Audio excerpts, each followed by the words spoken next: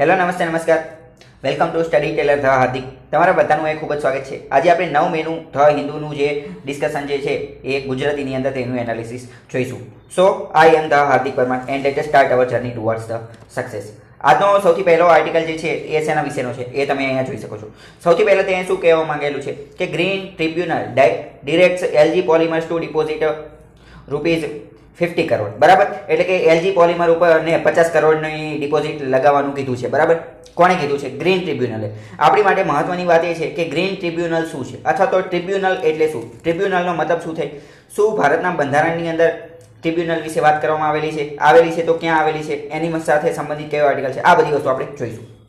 અત્યારે આપણે green green tribunal જે છે, એના ચેરમેન કોણ છે? તો અત્યારે એનજીટી, એટલે કે નેશનલ ગ્રીન ટ્રિબ્યુનલના ચેરમેન છે આદર્શ કુમાર ગોયલ. કોણ છે? આદર્શ કુમાર ગોયલ. આટલી વસ્તુ યાદ રાખવાની છે. બરાબર? એલજી પોલિમર્સ સાથે સંબંધિત શું સમસ્યા હતી? એ બધી વસ્તુ આપણે કાલના હિન્દુ એનાલિસિસની અંદર ડિસ્કસ કરી ચૂક્યા છીએ. એલજી પોલિમર સાથે સંબંધિત કયો ગેસ હતો? તો કે વિશાખાપટ્ટનમની અંદર આ દુર્ઘટના થઈ હતી અને સ્ટાયરીન નામનો ગેસ હતો. બરાબર? ડિટેલમાં જાણવું હોય તો કાલનો લેક્ચર જોઈ શકો છો. તો હવે આપણે જાણીએ કે નેશનલ ગ્રીન ટ્રિબ્યુનલ એટલે કે એનજીટી શું છે? એનજીટી જે છે એ એક પ્રકારનું ટ્રિબ્યુનલ છે. સૌથી પહેલાં એ સમજીએ કે ટ્રિબ્યુનલ એટલે શું? What is tribunal? બરાબર? ટ્રિબ્યુનલ સમજતા પહેલાં આપણે અહીંયા જોઈએ. એક મિનિટ. જો ટ્રિબ્યુનલ એટલે શું? તો કે ટ્રિબ્યુનલ એટલે કે તમે એવું સમજી શકો છો કે ટ્રિબ્યુનલ એટલે એક નાની કોર્ટ નાની કોર્ટ બરાબર? જો હવે જે જનરલ કોર્ટ હોય, કોઈ પણ પ્રકારની કોર્ટ હોય, બરાબર high court supreme court taluka court બરાબર જિલ્લા કોર્ટ કોઈ પણ પ્રકારની કોર્ટ તો અહીંયા કણે ઘણા બધા કેસો આવતા હોય. ઘણા બધા એટલે કે બધા જ કેસો આવતા હોય. બધી પ્રકારના કેસો આવતા હોય. તો કે ચોરીના કેસ આવતા હોય, બરાબર? લૂંટફાટના, જમીનના લૂંટફાટના, જમીનના, બરાબર? પછી કરપ્શનના કરપ્શનના આવા બધા ઘણા બધા કેસ આવતા હોય. તો આ બધા કેસ આવતા હોય તો એના કારણે શું થાય? કે બધી પ્રકારના કેસ ભેગા થાય. તો સમય વધારે જોઈએ, સમય વધારે જોઈએ. અને તમને ખ્યાલ જ હશે કે ભારતીય ન્યાયતંત્ર જે છે, એની એક ખૂબ મોટી ખામી છે, ખૂબ મોટી ખામી છે, સમસ્યા છે. કઈ સમસ્યા?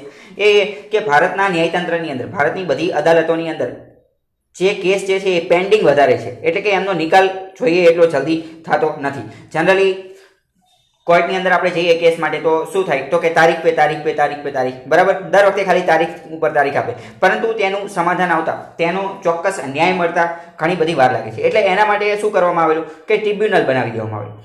તો ટ્રિબ્યુનલમાં શું હોય? કે એ કોઈ સ્પેશિયલ ચોક્કસ વસ્તુ માટે જ હોય. બરાબર?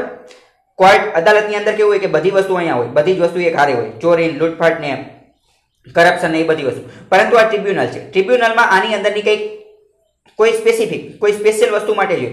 જેમ કે એનજીટી છે એનજીટી તો એનો મતલબ નેશનલ ગ્રીન ટ્રિબ્યુનલ એટલે કે પર્યાવરણીય સંબંધિત બાબતો હોય એ જ અહીંયા આવે. પછી ચોરી લૂંટફાટ ને એ બધું અહીંયાનું આવે. બરાબર?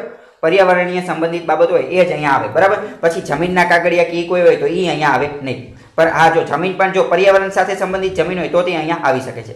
એટલે આના કારણે શું થાય કે સમય અને આ બધી વસ્તુ બચી શકે. તો આશા કરું છું કે ટ્રિબ્યુનલ એટલે તમે સમજ્યા છો એકદમ ટૂંકમાં સમજો તો ટ્રિબ્યુનલ એટલે શું? એક સ્પેશિયલ કોર્ટ એક સ્પેશિયલ કોર્ટ જે કોઈ એક વિષય ઉપર જ ફોકસ કરતી હોય. જે કોઈ એક વિષય ઉપર તે ધ્યાન આપતી હોય. બરાબર? તો હવે આપણે જોઈએ. હા તો હવે આ જે ટ્રિબ્યુનલ જે છે, એ એક્ટ એક્ટના આધારે બનાવવામાં આવેલું એનજીટી જે છે, એ ક્યારે બનાવવામાં આવેલું પહેલાં તો? બે હજાર દસની અંદર બનાવવામાં આવેલું છે. ક્યારે? બે હજાર દસની અંદર. અને એનજીટી નેશનલ ગ્રીન ટ્રિબ્યુનલ એ એક એક્ટ એટલે કે એક કાયદાના આધારે બનાવેલું છે. કાયદો એટલે શું એ તો ખ્યાલ જ હશે. કાયદાના આધારે કઈ રીતે બને? તો પહેલાં લોકસભામાંથી પસાર થયો છે, પછી રાજ્યસભામાંથી અને પછી રાષ્ટ્રપતિએ સહી કરેલી હશે. આવી રીતે કાયદો બને. બરાબર? તો આવી રીતે પસાર થયું હશે. અને જે કોઈ પણ વસ્તુ કાયદા દ્વારા પસાર થાય તો તેને સ્ટેચ્યુટરી બોડી કહેવાય. કેવી? સ્ટેચ્યુટરી. સ્ટેચ્યુટ એટલે કે લો એટલે કે કાયદો. સ્ટેચ્યુટ એટલે કે કાયદો. ગુજરાતીમાં જેને કહેવાય સંવિધાનિક સંસ્થા. કેવી? સંવૈધાનિક સંસ્થા. બરાબર? તો એનજીટી શું છે? એનજીટી એક સંવૈધાનિક સંસ્થા છે. ડાયરેક્ટ તે જીપીએસસી લેવલની પરીક્ષામાં પ્રશ્ન પૂછે છે કે એનજીટી વિશે નીચેના વિધાનો તપાસો અને પ્રથમ વિધાન આપી દીધું હોય કે એનજીટી એક બંધારણીય સંસ્થા છે. વાક્ય ખોટું પડી જશે. કેમ? કારણ કે બંધારણીય સંસ્થા નથી, સંવૈધાનિક સંસ્થા છે. NGT national green tribunal act બે હજાર દસના અનુસાર બનાવવામાં આવેલી છે. પાર્લામેન્ટ ઓફ ઇન્ડિયા ભારતની સંસદ દ્વારા બનાવવામાં આવેલી છે. ટ્રિબ્યુનલ એટલે શું? તે જોઈ લીધું. બરાબર? પર્યાવરણીય બાબતો સાથે સંબંધિત કાર્ય કરે છે. બરાબર? તો પર્યાવરણ વ્યક્તિને, નાગરિકને, ભારતના નાગરિકને સ્વચ્છ અને સારું પર્યાવરણ મળવું જોઈએ. એવું કોણે કીધેલું છે? બરાબર? એવું કીધેલું છે ભારતના બંધારણની કલમ એકવીસ આર્ટિકલ ટ્વેન્ટી વન એકવીસ નંબરની કલમમાં એવું કીધેલું છે કે વ્યક્તિને જીવન જીવવાનો અધિકાર છે. બરાબર? જીવન જીવવાનો અધિકાર છે. અને એની અંદર એવું પણ કીધેલું છે કે આ સારું જીવન જીવવા માટે, ગૌરવપૂર્ણ જીવન જીવવા માટે, ગૌરવપૂર્ણ જીવન જીવવા માટે સારું પર્યાવરણ, સારી હવા, સારો ઓક્સિજન, સારું વાતાવરણ આવી આ બધી વસ્તુ પણ હોવી જરૂરી છે. એટલે એન્વાયરમેન્ટ સેફ એન્વાયરમેન્ટ સ્વચ્છ અને સારું સુરક્ષિત એન્વાયરમેન્ટ સુરક્ષિત પર્યાવરણ એ પણ એનો હક છે. બરાબર? એટલે એના આધારે એનજીટીની સ્થાપના થઈ છે. એવો ક્વેશ્ચન પૂછાય છે કયા આર્ટિકલ તો ટ્વેન્ટી વનના આધારે. હવે જો અહીં આપણે જોઈએ, તો ભારત સરકારને ઇન્ડિયન પાર્લામેન્ટને એવો વિચાર કઈ રીતે આવી ગયો કે આપણે એનજીટી બનાવવું જોઈએ? બરાબર? કારણ કે એવો વિચાર કંઈ એવું તો છે નહીં કે રાતે સુઈ ગયા, સપનું આવી ગયું, સારું વાલો સવારે બનાવી નાખી. તો એવું કંઈ હતું નહીં. તાત્કાલિક એમને વિચાર નતો આવી ગયો. પરંતુ ઓગણીસો બાણુંની અંદર નાઇન્ટીન નાઇન્ટી ટુ ઓગણીસો બાણુંની અંદર united nations conference on environment and development બરાબર? યુનાઇટેડ નેશન્સ એટલે કે સંયુક્ત રાષ્ટ્રની એક સભા યોજાણી હતી એન્વાયરમેન્ટ એન્ડ ડેવલપમેન્ટ વિશે. એમાં ભારતે એવું કીધું કે અમે પણ આવી કંઈક વસ્તુ બનાવશું અને અમે આની અંદર પાર્ટિસિપેટ કરી ત્યારે ભારતે વોવ એટલે કે શપથ લીધા હતા. વી ઓ ડબલ્યુ વોવ એટલે કે શપથ લીધા હતા. આવી કંઈક વસ્તુ બનાવવાની. અને પર્યાવરણને જે ડેમેજ જે નુકસાન થાય છે, એ અટકાવવાનું કાર્ય કરેલું હતું. બરાબર? હવે એનજીટી જે છે, એ એક રીતે મહત્વનું શા માટે છે? કારણ કે ભારત વિશ્વની અંદર ત્રીજો એવો દેશ છે કે જેણે એનજીટી બનાવેલી છે. એટલે કે નેશનલ ગ્રીન ટ્રિબ્યુનલ ભારત પહેલા એવા કયા દેશ છે? તો સૌથી પહેલો દેશ કે જેણે એનજીટી બનાવી હોય, એટલે કે પર્યાવરણીય સંબંધોના ગુનાના નિકાલ કરવા માટે કોઈ આવી સ્પેશિયલ કોર્ટ બનાવેલું તો એવો પહેલો દેશ હતો ઓસ્ટ્રેલિયા, પછી ન્યુઝીલેન્ડ અને પછી ભારત. બરાબર? તો ભારત ત્રીજા નંબરનો દેશ છે. સ્ટેટમેન્ટ લેવલમાં એવું પૂછાઈ જાય સ્ટેટમેન્ટમાં એવું પૂછાઈ જાય કે એનજીટી બનાવવાવાળો ભારત વિશ્વમાં પ્રથમ દેશ છે, ખોટું પડી જશે. કેમ? કારણ કે પહેલો ઓસ્ટ્રેલિયા, બીજો ન્યુઝીલેન્ડ અને થર્ડ ઇઝ ઇન્ડિયા ત્રીજા નંબરનો ભારત છે. બરાબર? આગળ વાત કરીએ, તો the principal bench of the NGT એનજીટીનું જે હેડક્વાર્ટર જે છે, એ ન્યૂ દિલ્હીમાં છે, બરાબર? એટલે કે નવી દિલ્હીની અંદર. અને એની બીજી રિજિયોનલ ઓફિસ એટલે કે સ્થાનિક ઓફિસ પણ છે. તો સ્થાનિક ઓફિસ પશ્ચિમ પશ્ચિમ બાજુ જોઈએ તો પશ્ચિમમાં પુણેમાં છે. પુણે મહારાષ્ટ્રની અંદર છે, બરાબર? સેન્ટ્રલ ઓફિસ જોઈએ તો તે ભોપાલમાં છે. અને ભોપાલ ક્યાં છે? તો કે મધ્યપ્રદેશની અંદર. સાઉથ એટલે કે દક્ષિણની અંદર ચેન્નઈમાં છે, બરાબર? અને ઈસ્ટ એટલે કે પૂર્વની અંદર કલકત્તામાં છે. તો આટલી એની રિજિયોનલ ઓફિસ પણ છે. પુણે, ભોપાલ, ચેન્નઈ અને કોલકાતા. અને એક કોઈ એક મેન્સ પરીક્ષા હતી જીપીએસસી દ્વારા લેવાયેલી હતી. કઈ મેન્સ હતી એ તો હું મને અત્યારે યાદ નથી. એની અંદર એનજીટીનો ક્વેશ્ચન જે છે એ પાંચ માર્કની અંદર પૂછાયેલો હતો. જેમાં પૂછેલું હતું કે એનજીટી વિશે સમજાવો. બરાબર? તો પાંચ માર્કની અંદર આખો ક્વેશ્ચન પૂછાયેલો હતો. તો આવી બધી વસ્તુ લખવી પડે. બરાબર? એનજીટી વિશે વાત કરીએ તો એનજીટીના જે ચેરપર્સન, એનજીટીના જે ચેરમેન રહ્યા, એ હંમેશા તે રિટાયર્ડ જજ હોય છે. અને રિટાયર્ડ જજ પણ કયા રિટાયર્ડ જજ? તો સુપ્રીમ કોર્ટના રિટાયર્ડ જજ હોય છે. સુપ્રીમ કોર્ટની સ્થાપના એકસો ચોવીસ નંબરની કલમમાં થયેલી છે. આ બધી વસ્તુ તમને ખબર હોવી જોઈએ અને સુપ્રીમ કોર્ટનું હેડક્વાર્ટર પણ ન્યૂ દિલ્હીમાં છે. બરાબર? સુપ્રીમ કોર્ટ ક્યાં છે? તો કે ન્યૂ દિલ્હી. સુપ્રીમ કોર્ટના રિટાયર્ડ જજ હોય તે એનજીટીના ચેરમેન બની શકે છે. અઢાર ઓક્ટોબર બે હજાર દસના દિવસે પ્રથમ વાર એનજીટીની રચના કરવામાં આવી હતી. અને પ્રથમ ચેરમેન કોણ હતા? આના પ્રથમ ચેરમેન હતા લોકેશ્વર સિંઘ પાંટા બરાબર? લોકેશ્વર સિંઘ પાંટા બરાબર? અને અત્યારના ચેરમેન કોણ છે? અત્યારના ચેરમેન છે આદર્શ કુમાર ગોયલ. બરાબર? અત્યારે આ ચર્ચામાં છે તો તમારે યાદ રાખવું જોઈએ. હવે આપણે વાત કરીએ કે ટ્રિબ્યુનલ વિશે થોડીક વાત કરીએ. તો શું એનજીટી એટલે કે નેશનલ ગ્રીન ટ્રિબ્યુનલ એવું એક ટ્રિબ્યુનલ છે? તો કે ના, બીજા પણ ઘણા બધા ટ્રિબ્યુનલ છે. જેમ કે જો અહીં આપેલું છે income tax appellate tribunal income tax સંબંધિત કંઈક વાંધો પડી ગયો ટેક્સ ભરવામાં, તો એની અપીલ કરવા માટે આ ITAT income tax appellate tribunal પછી કસ્ટમ એક્સાઇઝ સર્વિસ ટેક્સ આ બધા ટેક્સ સંબંધિત કોઈ વાંધો પડી ગયો તો એનું ટ્રિબ્યુનલ છે. બરાબર? નેશનલ ગ્રીન ટ્રિબ્યુનલ વિશે વાત કરી લીધી. કોમ્પિટિશન અપિલિએટ ટ્રિબ્યુનલ કંઈક કોમ્પિટિશન હોય, એને, એની સંબંધિત ફરિયાદ કરવી હોય તો અહીંયા છે. બરાબર? Securities appellate tribunal SAT securities appellate tribunal એટલે કે સેબી શેર બજાર સંબંધિત કોઈ વાંધો હોય, બરાબર? Security and exchange board of India એમાં તમને કંઈક વાંધો પડી ગયો હોય, શેર ખરીદવામાં કે બોન્ડ ખરીદવામાં, અથવા શેર બજાર વ્યવસ્થિત રીતે કાર્ય નથી કરતું સ્ટોક માર્કેટમાં કંઈક વાંધો પડી ગયો તો તમે એસઆઈટીમાં એની ફરિયાદ કરી શકો છો. આ એક પ્રકારનું ટ્રિબ્યુનલ એટલે એક કોર્ટ છે, બરાબર? અને એ બધી સ્ટેચ્યુટરી બોડી હોય, એટલે કે સંવિધાનિક સંસ્થા હોય. Tribunals were not part of the original constitution મૂળ બંધારણમાં આનો સમાવેશ થતો નહોતો બરાબર? ટ્રિબ્યુનલ વિશે બંધારણમાં લખેલું છે. બરાબર? ટ્રિબ્યુનલ ખુદ ટ્રિબ્યુનલ એ બંધારણીય સંસ્થા છે. ટ્રિબ્યુનલ વિશે બંધારણમાં લખેલું છે. પરંતુ અલગ અલગ પ્રકારના ટ્રિબ્યુનલ બનાવેલા હોય છે, એ અહીં આપેલું છે. જો તો ટ્રિબ્યુનલ કઈ રીતે બનાવવામાં આવેલા? તો બંધારણની અંદર બેતાલીસમો સુધારો કરવામાં આવેલો હતો. બેતાલીસમો સુધારો ક્યારે? નાઇન્ટીન સેવન્ટી સિક્સ ઓગણીસો છોતેરની અંદર બેતાલીસમો સુધારો કરવામાં આવેલો હતો. બરાબર? ઇન્દિરા ગાંધી તે સમયે પીએમ હતા. જો, આ બેતાલીસમાં સુધારોને મિની કોન્સ્ટિટ્યુશન એટલે નાનું બંધારણ પણ કહે છે. તો આને તમે એવી રીતે યાદ રાખી શકો છો. બેતાલીસની અંદર જો ચાર અને બે છે, અને ચાર વત્તા બે કેટલા થાય? ચાર અને બે થાય છ. બરાબર? ચાર અને બે છ. તો અહીંયા લાસ્ટમાં છ આવે છે. બરાબર? લાસ્ટમાં છ આવે છે. ઓગણીસો છોતેરમાં છ.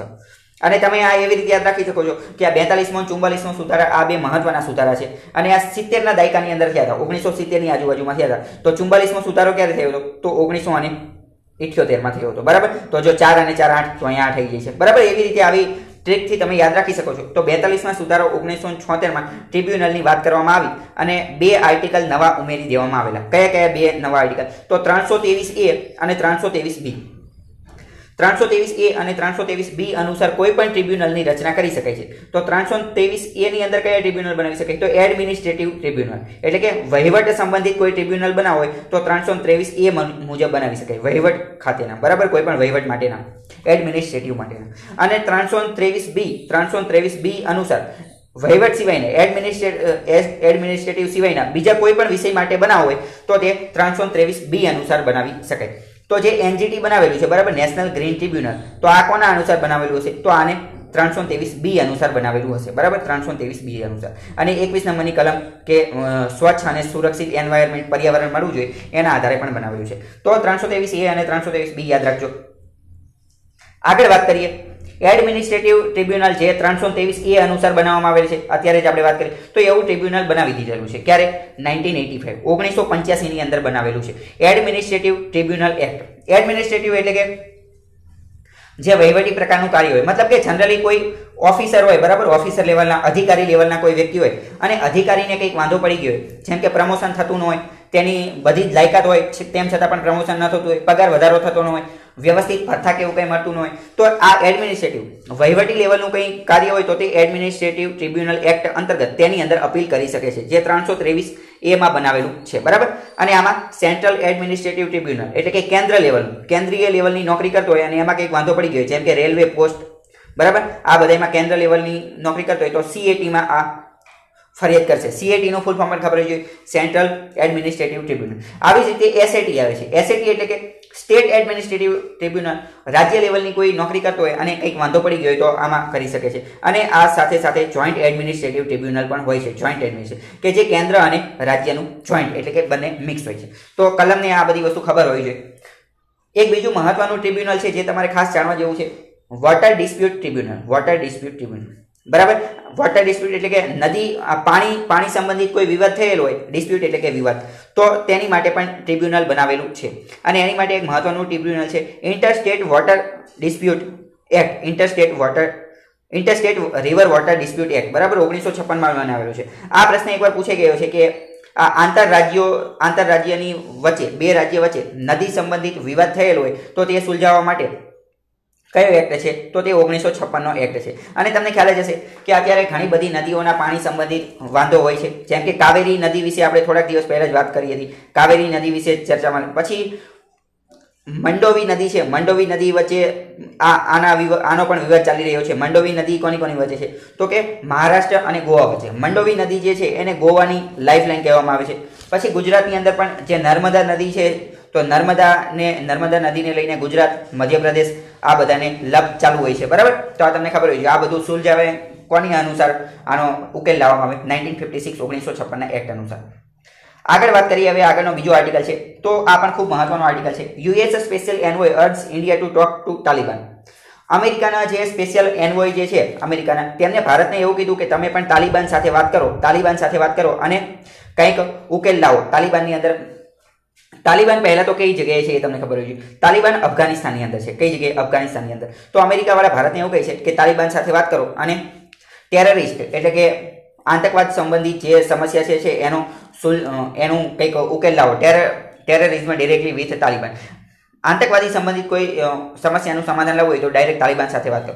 અને તમને ખ્યાલ છે કે ભારતનો પહેલેથી જ તે સ્ટાન્સ ભારતનો ચાન્સ શું રહેલો છે? ભારતનું આ બાબતે શું કહેવાનું થાય છે? એ તમને ખ્યાલ જ હશે. આપણે આની પહેલાં પણ આ તાલિબાન, અફઘાનિસ્તાન, ભારત, અમેરિકા આની સંબંધિત એક આર્ટિકલ ચર્ચા કરેલી હતી. ત્યારે મેં તમને કીધું હતું કે ભારતનું પહેલેથી જ એવું કહેવાનું થાય છે કે ભારત અફઘાનિસ્તાનના લોકોએ જે સરકાર ચૂંટેલી છે, અફઘાનિસ્તાનના સરકારે, અફઘાનિસ્તાનના લોકોએ જે સરકાર ચૂંટેલી છે, તેની સાથે જ ભારત વાત કરશે. બીજી કોઈ થર્ડ પાર્ટી સાથે વાત કરશે નહીં. તો અમેરિકાનું એવું એવું કહેવાનું થઈ છે કે અત્યારે સમાધાન લાવવા માટે તાલિબાન સાથે પણ વાત કરવી જરૂરી છે. શેની માટે? ટેરરિસ્ટ આતંકવાદી પ્રવૃત્તિઓ દૂર કરવા માટે. તાલિબાન ક્યાં છે? તો કે અફઘાનિસ્તાનની અંદર છે. ઇન્ડિયા એન્ડ અફઘાનિસ્તાન ભારત અને અફઘાનિસ્તાન હિસ્ટોરિકલ ટાઈસ એટલે કે ઐતિહાસિક સંબંધો ધરાવે છે. આ બધી વસ્તુ ખબર હોય છે આગળનો આર્ટિકલ તમે જોઈ શકો છો. બરાબર?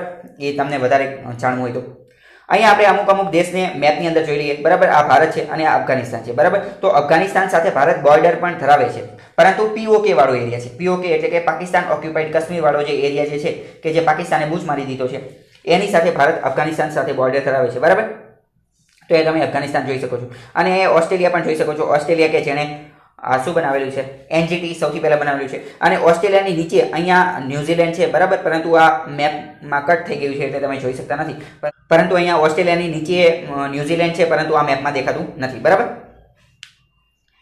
આગળ વાત કરીએ હવે આગળનો આર્ટિકલ જે છે. આગળનો article juvenile among four help for robbing five labourers in city બરાબર? આ આર્ટિકલ એટલો બધો મહત્વનો નથી, પરંતુ મેં આ ખાલી એટલા માટે લગાવેલો છે કે તમે જુવેનાઇલનો મતલબ સમજો. જુવેનાઇલનો મતલબ શું થાય?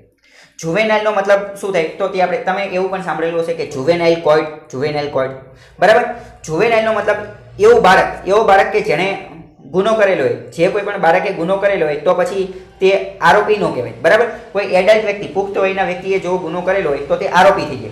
પરંતુ બાળક દ્વારા જો ગુનો કરેલો હોય તો તેને જુવેનાઇલ કહેવામાં આવે છે. અને એના માટે તે જુવેનાઇલ કોર્ટમાં લઈ જવામાં આવે છે. બરાબર? તો જુવેનાઇલ એટલે ગુનો કરેલું જે બાળક હોય, એને જુવેનાઇલ કહેવાય. અહીંયા એક બીજો વર્ડ આપેલો છે robbing R O double B I G રોબિંગનો મતલબ થાય લૂંટવું. લૂંટ કરવી, ધાડ મારવી. બરાબર? લૂંટવાનું કાર્ય એને રોબિંગ કહેવાય. આગળ વાત કરીએ. GCC nations facing a tough fight in curbing virus spread GCC એટલે કે gulf gulf cooperation council GCC એટલે કે ગલ્ફ કોઓપરેશન ખાડીના દેશનું આ એક કાઉન્સિલ છે. આ દેશો જે છે એ વાયરસ એટલે કે કોવિડ નાઇન્ટીનને અટકાવવામાં ફાઇટિંગ કરી રહ્યા છે, પરંતુ અસફળ રહી છે અને ટફ ફાઇટ આપી રહ્યા છે. તેમને ઘણી બધી સમસ્યાનો સામનો કરી રહ્યો છે. આપણી માટે મહત્વનું એ છે કે જીસીસીમાં કોણ કોણ છે? જીસીસીનું ફૂલ ફોર્મ શું છે? આપણી માટે મહત્વનું એ છે. તો જીસીસી એટલે કે gulf cooperation council UAE, Saudi Arabia, Qatar, Bahrain, Oman અને કુવેત. આટલા દેશો એની અંદર છે. બરાબર? ખાસ યાદ રાખવાનું છે, ઈરાક અને ઈરાન આની અંદર છે નહીં. ઈરાક અને ઈરાન જીસીસીના સભ્ય નથી. આટલા દેશો છે. UAE, Saudi Arabia, Qatar, Bahrain, Oman અને કુવૈત. જો એ મેપમાં પણ જોઈ લઈએ. મેપમાં બધા તો નહીં દેખાય. બરાબર? આ સાઉથ આ જે એરિયા જે છે, આટલાની વાત કરે છે. ઈરાક અને ઈરાન એના ભાગ છે નહીં. બરાબર? એ પણ તમારે યાદ રાખવાનું છે. આગળ વાત કરીએ. બીજો એક આર્ટિકલ બીજી એક ન્યૂઝ છે કે MiG twenty nine crashes near Jalandhar. જલંધરની બાજુમાં મિગ ટ્વેન્ટી નાઇન જે છે એ ક્રેશ થઈ ગયું છે એટલે કે એ તૂટી પડ્યું છે. આપણી માટે મહત્વનું શું છે કે મિગ ટ્વેન્ટી નાઇન ભારત કોની પાસેથી ખરીદે છે? અને મિગ ટ્વેન્ટી નાઇન જો આવું મિગ ટ્વેન્ટી નાઇન દેખાય છે. બરાબર, આ બધા મિગ ટ્વેન્ટી નાઇન છે. તો ભારત કોની પાસેથી ખરીદે છે? ભારત રશિયા પાસેથી ખરીદે છે. કોની પાસેથી? રશિયા. તો ભારત રશિયા પાસેથી ખરીદે છે અને સુખોઈ નામનું એક બીજું એરક્રાફ્ટ છે, એટલે કે વિમાન છે. એરક્રાફ્ટ એટલે કે વિમાન, બરાબર? કે જે હુમલો કરવા માટેની બધા માટે વપરાતું તો સુખોઈ પણ ભારત, રશિયા પાસેથી ખરીદે છે અને મિગ પણ ત્યાંથી ખરીદે છે. આવો ડાયરેક્ટ જ ક્વેશ્ચન પૂછાઈ જાય બરાબર?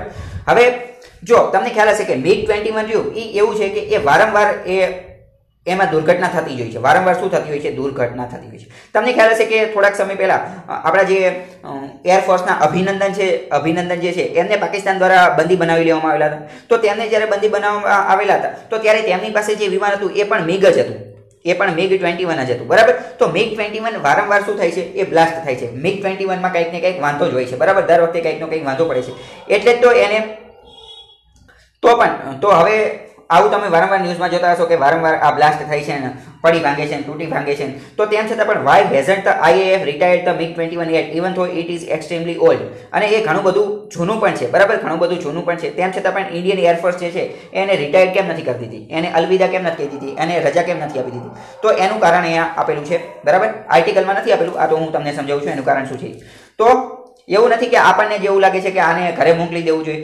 જે એરફોર્સના લોકો જે છે, એમને પણ એવું લાગે છે, ઓગણીસો એંસીથી એમને એવું લાગે છે કે આપણે આને રિટાયર કરી દેવું જોઈએ મિગ ટ્વેન્ટી વનને ઓગણીસો એંસીથી પરંતુ તેમને હજી સુધી કર્યું નથી. એનું કારણ શું છે? કારણ કે ભારતની અંદર એક પ્રોગ્રામ ચાલે છે, તેજસ પ્રોગ્રામ તેજસ.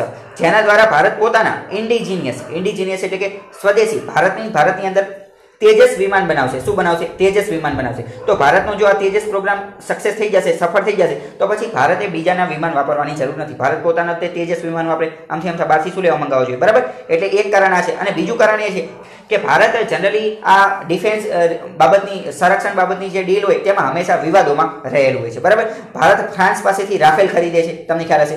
ભારત ફ્રાન્સ પાસેથી શું રાફેલ ખરીદે છે. અને તે કંપનીનું નામ છે દાસોલ્ટ દાસોલ્ટ નામની જે કંપની જે છે, એની પાસેથી રાફેલ ખરીદે છે અને ફ્રાન્સ પાસેથી.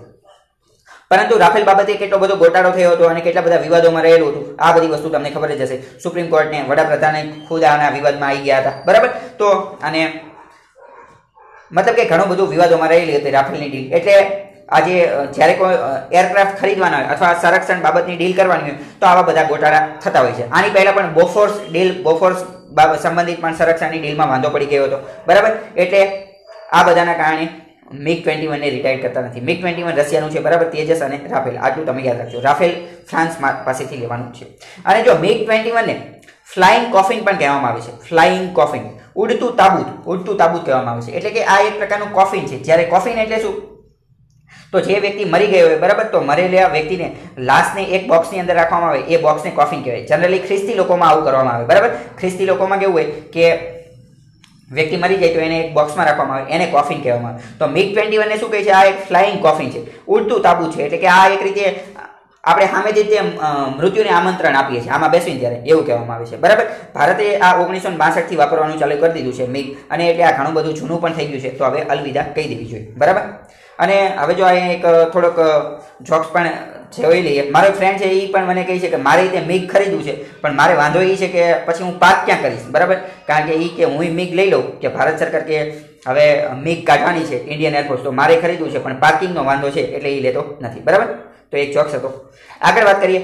બીજો કયો આર્ટિકલ છે? તો બીજો આર્ટિકલ છે US pulls out patriot missile batteries from Saudi Arabia America દ્વારા, અમેરિકાની એક મિસાઇલ સિસ્ટમ છે પેટ્રિયોટ બરાબર? એવો ક્વેશ્ચન પૂછે કે પેટ્રિયોટ મિસાઇલ સિસ્ટમ કોની છે? તો અમેરિકાની છે. પેટ્રિયોટનું ગુજરાતી થાય દેશભક્ત. દેશભક્તિ આપણે જે દર્શાવતો હોય તો તેને પેટ્રિયોટ કહેવાય છે. બરાબર? પેટ્રિયોટ મિસાઇલ સિસ્ટમ અમેરિકાની છે. એની બેટરી એને અમેરિકા જે છે, એ સાઉદી અરેબિયાથી ખસેડી રહી છે. સાઉદી અરેબિયામાંથી કાઢી નાખી રહી છે. શા માટે? કારણ કે it feels threat from Iran અમેરિકાને ધમકીનો અનુભવ થઈ રહ્યો છે. કોની તરફથી? ઈરાન તરફથી. ઈરાન દ્વારા હમણાં થોડા સમય પહેલાં તે એક તેનો મિલિટરી સેટેલાઇટનું પરીક્ષણ કરવામાં આવેલું હતું. ઈરાનનો મિલિટરી સેટેલાઇટ ઈરાન સૌથી પહેલું ગલ્ફ કન્ટ્રીની અંદર એવું સૌથી પહેલો દેશ બની ગયો છે કે જેણે મિલિટરી સેટેલાઇટ પોતાનો ખુદનો બનાવી લીધો છે. અને તેનું નામ છે નૂર બરાબર? તો ઈરાન ઈરાન ઉપર અમેરિકાના આ બધાના ઘણા બધા પ્રતિબંધ હોવા છતાં પણ તે નીચે બેસતું નથી અને વધારે અને વધારે પ્રગતિ કરે છે. મિલિટરી સેટેલાઇટ બનાવે મિસાઇલ બનાવે ઓલું બનાવે પેલું બનાવે બરાબર? એટલે અમેરિકાને પણ થોડોક ડર છે. એટલે અમેરિકા શું કરી રહ્યું છે? સાઉદી અરેબિયામાંથી આ પેટ્રિયોટ મિસાઇલ સિસ્ટમ કાઢી અને ઈરાન તરફ દાગવાની પ્રયાસ કરી રહ્યું છે. બરાબર? મહત્વની વાત તો આપણી માટે એટલી છે કે પેટ્રિયોટ ક્યાંની છે તો? અમેરિકાની છે. એટલું યાદ રાખવાનું છે. પછી આ એક ખૂબ મહત્વનો આર્ટિકલ છે કે Vista dials up Jio with eleven thousand three hundred and sixty seven crore. Vista નામની કંપની જે છે, એણે જીઓની અંદર અગિયાર હજાર ત્રણસો અને સડસઠ કરોડ રૂપિયા ઇન્વેસ્ટ કરેલા છે. પરીક્ષામાં પ્રશ્ન એક લાઇનની અંદર પૂછો તો એવો પૂછે છે કે વિસ્ટા કંપની જે છે, એ ક્યાંની છે? કયા દેશની કંપની છે? વિસ્ટા કંપની કોની સાથે સંબંધિત છે? બરાબર? એટલે કે વિસ્ટા કંપની શું બનાવે છે? કપડાં બનાવે છે કે જીન્સ બનાવે છે કે શું કરે છે? બરાબર? ઘરેણા એટલે કે ઓર્નામેન્ટ્સ દાગીના બનાવે છે. બરાબર? એવું કંઈ પહેલાં તો નથી બનાવતી. શું બનાવે છે? આપણે આગળ જોઈશું. પછી, તો એણે જીઓ સાથે ડીલ શા માટે કરી? આ બધી વસ્તુ આપણે જો આની પહેલાં પણ તમે જોયું છે કે ફેસબુક અને રિલાયન્સ જીઓ વચ્ચે ડીલ થયેલી હતી. ફેસબુકે પણ જીઓની અંદર ઘણા બધા પૈસા ઇન્વેસ્ટમેન્ટ કરેલા હતા. તો બધું આખો ગેમ શું છે? એ બધી વસ્તુ આપણે જોઈએ. એમાં મેં ખૂબ ડિટેલમાં સમજાવેલું છે કે જીઓ અને ફેસબુક વચ્ચે કઈ કઈ ડીલ થયેલી હતી, બરાબર? તો તમે તે વીડિયો પણ જોઈ શકો છો. તેની અંદર મેં ખૂબ સરળતાથી અને ખૂબ સુંદરતાથી સમજાવેલું છે કે જીઓ અને ફેસબુક વચ્ચેની ડીલ શું છે. અત્યારે વિસ્ટા વિશે વાત કરીએ, તો વિસ્ટા જે છે એ અમેરિકાની કંપની છે, કોની? અમેરિકાની. અને વિસ્ટા જે છે એ સોફ્ટવેર બનાવવાની કંપની છે, બરાબર? સોફ્ટવેર બનાવવાની. સોફ્ટવેર એટલે તો તમે સમજતા જશો સોફ્ટવેર બનાવવાળી કંપની છે. અને વિસ્ટા જે છે, એ જનરલી ટેકનોલોજીની કંપની હોય, એની અંદર પોતાનું ઇન્વેસ્ટમેન્ટ પોતાનું રોકાણ કરતી હોય છે. તો જીઓ પણ એક ટેકનોલોજીની કંપની છે. જીઓનું સિમ કાર્ડમાં ઇન્ટરનેટ તો બધા વાપરતા જશે તો અગિયાર હજાર ત્રણસો સડસઠ કરોડ રૂપિયા વાપરી અને બે પોઈન્ટ બત્રીસ ટકા શેર ખરીદી લીધા છે. તો બરાબર? અને ફેસબુક દ્વારા પણ હમણાં થોડાક સમય પહેલા તે ખરીદી ખરીદવામાં આવેલા હતા share. Largest investor in the Jio platform તો ફેસબુકે ખરીદેલા છે તો શેર. અત્યારે રિલાયન્સની અંદર પછી આ વિસ્ટાએ ખરીદેલા અને બીજી પણ એક કંપની છે silver line silver lake sorry silver lake બરાબર ત્રણ કંપનીએ જીઓમાં અત્યારે શેર ખરીદેલા છે. વિસ્ટા ફેસબુક અને સિલ્વર લેક બરાબર સિલ્વર લેક જે છે, આ પણ ટેકનોલોજીની અંદર ઇન્વેસ્ટમેન્ટ કરવાવાળી કંપની છે. તો આ બધા એની અંદર શેર ખરીદેલા છે. બરાબર? વિસ્ટા અને આ બધી વસ્તુ શું છે તે જોઈ લઈએ. વિસ્ટા જે છે એ વિશ્વની પાંચમા નંબરની સૌથી વધુ, સૌથી મોટી સોફ્ટવેર બનાવવાવાળી કંપની છે, પાંચમા નંબરની. તો આ બધા આગળ આવી જશે. આ બધા જો જીઓની અંદર રોકાણ કરી દેશે, તો જીઓ એક બહુ મોટી કંપની બની જશે. અને જીઓ અને ફેસબુકનો પ્લાન એવો છે કે તેઓ એક સુપર એપ બનાવવા માંગે છે. સુપર એપ સુપર એપનો મતલબ શું? સુપર એપનો મતલબ એવો કે એક જ એપ દ્વારા બધી જ વસ્તુ થઈ જાય. મેં ઓલા વિડીયોની અંદર વાત કરી હતી કે વીચેટ જે છે, ચાઇનાની વીજેટ એ સુપર એપ છે. એની અંદર એક જ એપથી આપણે બધી જ વસ્તુ કરી શકીએ. બરાબર? લાઇટ બિલ ભરી શકીએ, ફોન કરી શકીએ. બરાબર?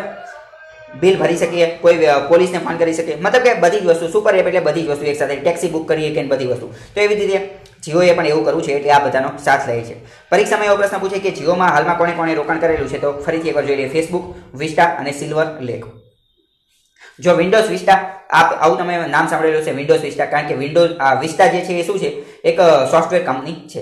અને જો અહીંયા એક ખૂબ સુંદર વસ્તુ આપેલી છે કે જીઓ જીઓ તો શું કહેવાય? જીઓ ફોન આવે છે, જીઓ કાર્ડ આવે છે. તો જીઓનો ઊંધો કરો તો અહીંયા ઓઇલ બની જાય છે. તો રિલાયન્સ જે છે એ બંને ક્ષેત્રે કાર્ય કરે છે જીઓમાં અને ઓઇલમાં. બરાબર?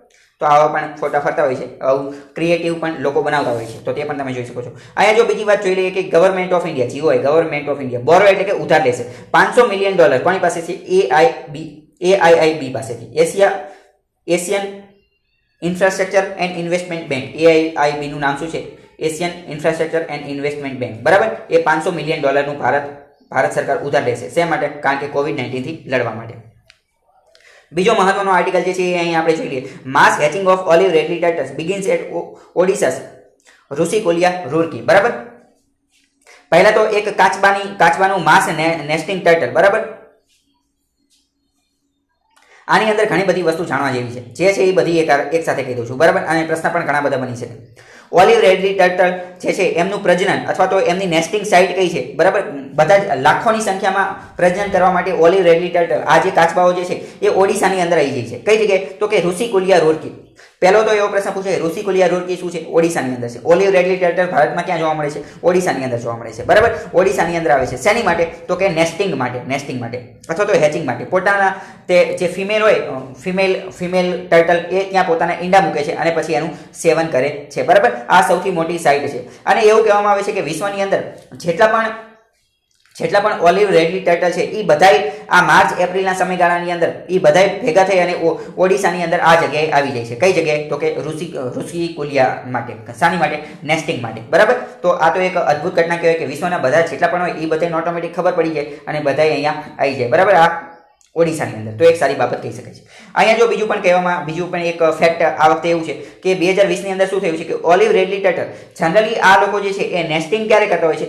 રાત્રિના સમયે જ નેસ્ટિંગ કરતા હોય છે. પરંતુ બે હજાર વીસની અંદર પ્રથમવાર એવી ઘટના ઘટી ગઈ છે કે આ વખતે ઓલિવ રેડલી ટર્ટલ જે છે, એમણે દિવસ દરમિયાન પણ નેસ્ટિંગ શરૂ કરી દીધું છે. બરાબર? દિવસીય પણ નેસ્ટિંગ કરતા તેઓ જોવા મળે છે. અને પહેલાં જો બીજી જ વાત અહીંયા કહી દીધી છે કે આને લોકડાઉન સાથે કોઈ જ લિંક નથી. દિવસે એવો જે નેસ્ટિંગ કરે છે, એને લોકડાઉન સાથે કોઈ લિંક નથી. એવું હું નથી કહેતો એક્સપર્ટ કહે છે. બરાબર? એક્સપર્ટ એટલે કે તજજ્ઞ લોકો એવું કહે છે.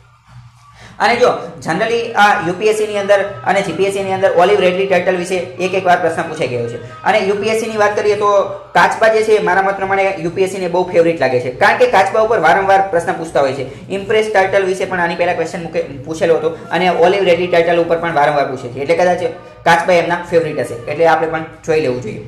ઓડિશાની અંદર આ ચિલિકા લેક પણ આવેલી છે, બરાબર? ચિલિકા લેક ડાયરેક્ટ એવો પ્રશ્ન પૂછે છે, ચિલિકા લેક ક્યાં છે? તો કે ઓડિશાની અંદર છે. અને ત્યાં પણ ઓલિવ રેડલી ટર્ટલ જોવા મળે છે. ઓલિવ રેડલી ટર્ટલ આ નામ પણ તમે યાદ રાખજો. તો હવે આપણે બીજો આર્ટિકલ જોઈએ. બીજો આર્ટિકલ છે કન્ટેમ્પ્ટ ઓફ લેબર કન્ટેમ્પ્ટ એટલે કે અનાદર. કોઈ વ્યક્તિનો આપણે અનાદર કરીએ, બરાબર? એવું પણ કહેવાય. કન્ટેમ્પ્ટ ઓફ કોર્ટ તો કોર્ટનો અનાદર કરીએ. તો અહીંયા લેબરનો અનાદર કરવામાં આવે છે. આખી બાબત શું છે એ પહેલાં આપણે ટૂંકમાં સમજીએ. તો તમને ખ્યાલ હશે કે અત્યારે ઇકોનોમિક સ્લોડાઉન ચાલી રહ્યું છે. લોકડાઉનના કારણે બધી વસ્તુ બંધ છે.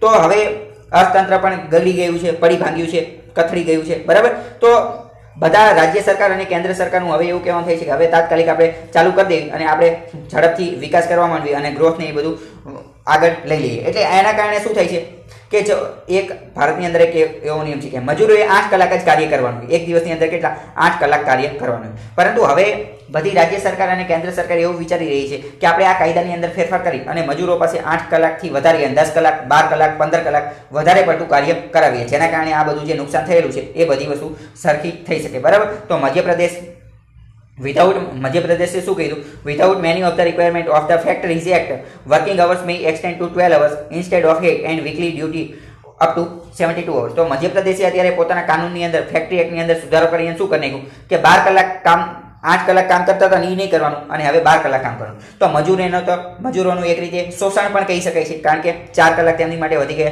અને અઠવાડિયાના બોતેર કલાક કામ કરવાનું. અઠવાડિયાના બોતેર કલાક કામ કરવાનું. States, state as use the section five બરાબર? ફેક્ટરી એક્ટની અંદર પાંચમા નંબરની કલમ જે છે, એ કહે છે. શું કહે છે? આગળ આપેલું છે કે વીજ permits exemption from its provisional for three months. બરાબર?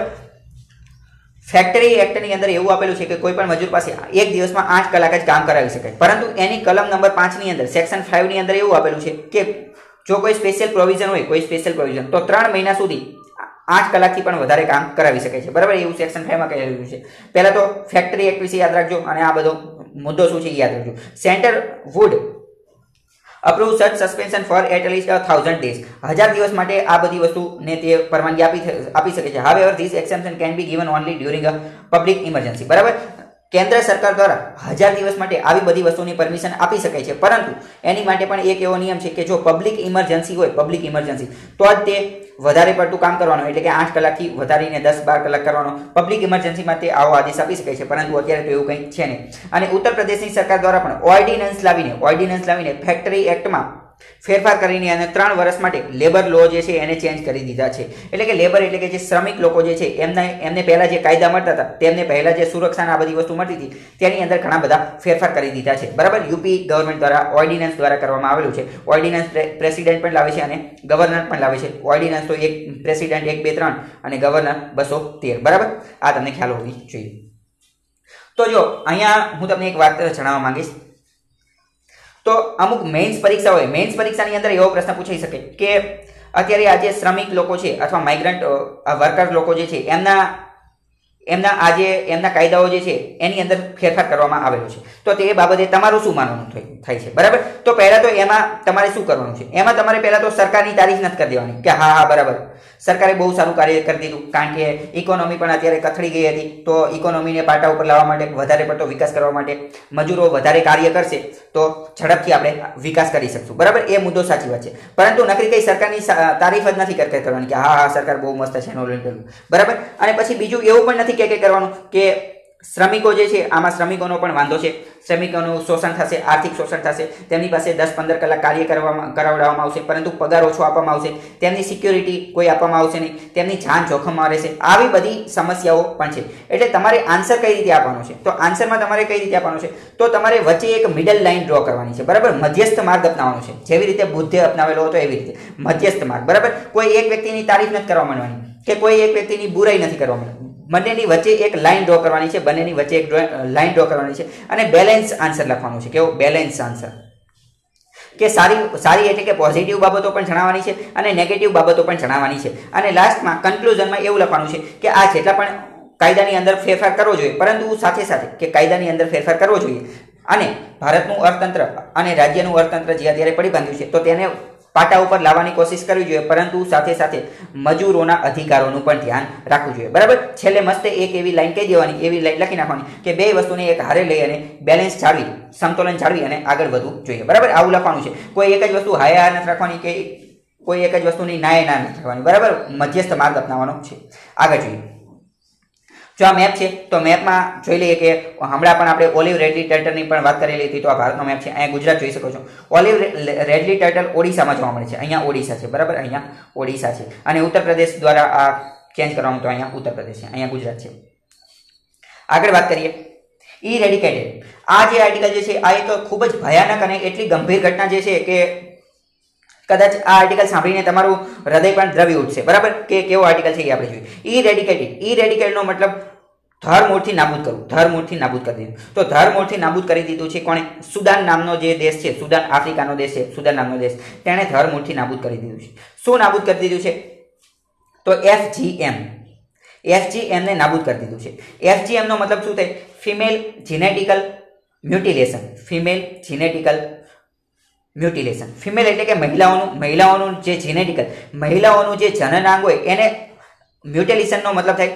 અંગછેદન. અંગછેદન એટલે કે કાપી નાખવું. સુદાનની અંદર એક એવો નિયમ હતો. સુદાનની અંદર એવી એક પ્રક્રિયા કરવામાં આવતી હતી કે જેના દ્વારા ફિમેલ જેનેટિકલ મ્યુટિલેશન કરવામાં આવતું હતું. એટલે કે મહિલાઓનું જે જનનાંગ હોય મહિલાઓનું જે જનનાંગ હોય, એને મ્યુટિલેશન તેને કાપી નાખવામાં આવતું હતું. બરાબર? તેનો જે વધારાનો ભાગ હોય, તેને કાપી નાખવામાં આવતું હતું. તો આપણે એવો અંદાજ લગાવી શકીએ છીએ કે, અને આ પણ કાપવાનું કાર્ય પણ બ્લેડથી કરવામાં આવતું હતું. બરાબર? કોઈ બેભાન કરીને કે એવી રીતે નહીં. બ્લેડથી મહિલાઓનો આ જનનાંગનો જે વધારાનો ભાગ હોય, તે કાપી નાખવામાં તો કેટલી ઈજા અને કેટલું દર્દ થતું હશે તે આપણે વિચારી શકીએ છીએ. તો આ એક લેન્ડમાર્ક જજમેન્ટ આવી ગયું છે અને લેન્ડમાર્ક વિક્ટરી ફોર વુમન મહિલાઓની આ એક ખૂબ જ લેન્ડમાર્ક જજમેન્ટ આવ્યું છે અને તેમનો ખૂબ જ મોટો વિજય થઈ ગયો છે. કેમ? કારણ કે સુદાને હવે આ જે પ્રક્રિયા હતી એની ઉપર પ્રતિબંધ મૂકી દીધો છે એન્ડ કરી દીધું છે. બરાબર? કોની ઉપર? એફ જી એમ એટલે કે ફિમેલ જીનેટિયલ મ્યુટિલિગેશન બરાબર? વાત કરીએ, શું કહેવા માંગે છે? તો સુદાન જે છે અત્યારે transitional from dictatorship to democracy Sudan અત્યારે ધીમે ધીમે ડિક્ટેટરશીપમાંથી ડેમોક્રેસી તરફ આવી રહ્યું છે. એટલે કે આપ ખુદ શાહીમાંથી લોકશાહી તરફ પરિવર્તન કરી રહ્યું છે. બરાબર? અને યુએન, યુનાઇટેડ નેશન્સનું એવું કહેવાનું થાય છે કે સિત્યાસી ટકા સુદાનની મહિલાઓ જે છે, સત્યાસી ટકા સુદાનની women have had their external genetical remove સત્યાસી ટકા સુદાનની મહિલાઓ એવી હતી કે જેમણે તેમનું બહારનું જે વધારાનું તેમનું જે જનનાંગ જીનેટિકલ જે છે એ કટાવડાવેલું હતું. બરાબર? બ્લેડ દ્વારા આવી રીતે કટાવેલું હતું. તો તેમને ઘણું બધું દર્દ ને એવું બધું થતું છે leaving them with life long emotional and physical injury આના કારણે તેમને શારીરિક પીડા તો થાય છે, પરંતુ ઇમોશનલ પેઇન ઇમોશનલ પેઇન પણ તેમને અનુભવવી પડે છે. બરાબર? જો તમારે ક્યારેક મહિલાઓ વિશે કંઈ આર્ટિકલ લખવાનું આવે, અથવા મહિલાઓ વિશે વિમેન એમ્પાવરમેન્ટ મહિલાઓ, મહિલા સશક્તિકરણ માટે કંઈ લખવાનું આવે, તો તમે ત્યાં આ ઉદાહરણ લખી શકો છો. આની પહેલાં સાઉદી અરેબિયામાં પણ મહિલાઓને ડ્રાઇવિંગ માટેની પરવાનગી આપવામાં આવેલી હતી, તો એ પણ લખી શકો છો. પરંતુ આ તો વધારે દર્દનાક વસ્તુ છે. બરાબર?